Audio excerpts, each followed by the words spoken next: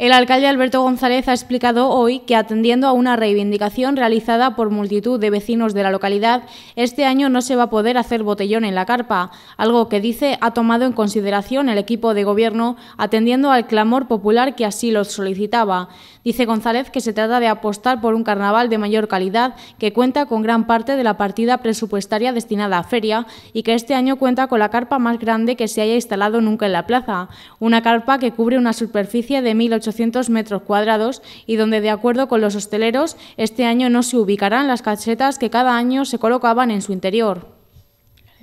Nosotros estamos apostando porque nuestro carnaval tenga más calidad y es una reivindicación de la gente, de la gente ya pues,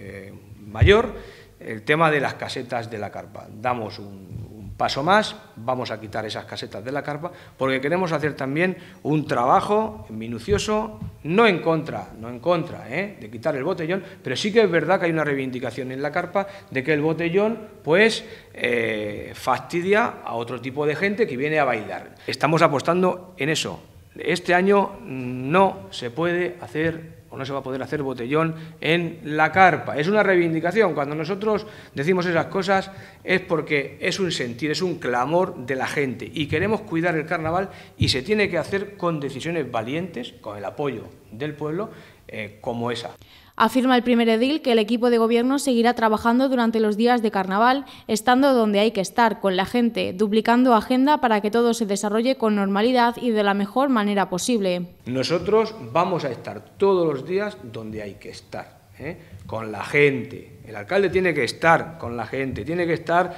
en las comparsas, en los locales. Insiste el alcalde que lo que desea el gobierno municipal es continuar por el camino de la reconstrucción y de que el carnaval de Villarrobledo siga conservando la calidad que le hizo ser reconocido como de interés turístico nacional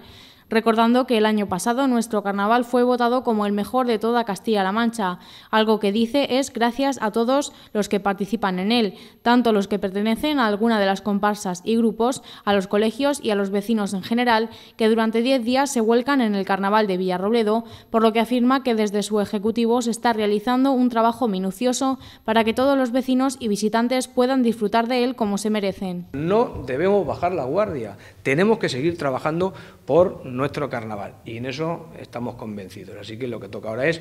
que empiece el carnaval, a disfrutar, a estar en la Plaza Vieja, a estar en la calle y a disfrutar de, pues, de cómo somos, que yo creo que somos gente que bueno, pues, trabajamos día a día, ahora en estas fechas, igual que nosotros, duplicamos la, la agenda cada una de las personas de nuestra ciudad trabajan por el día, pero están deseando que llegue la noche, que lleguen los desfiles para salir. Así que no vamos a desaprovechar la oportunidad, invitar a toda la comarca, invitar a toda la provincia de Albacete. Ya me encargué esta mañana de hacerlo allí en, Diputación. Y bueno, Villarroledo con las puertas abiertas para recibir a toda la gente que venga a nuestro carnaval. Que como he dicho y digo, de interés turístico nacional, que tenemos que seguir cuidando, pero el mejor carnaval de Castilla-La Mancha.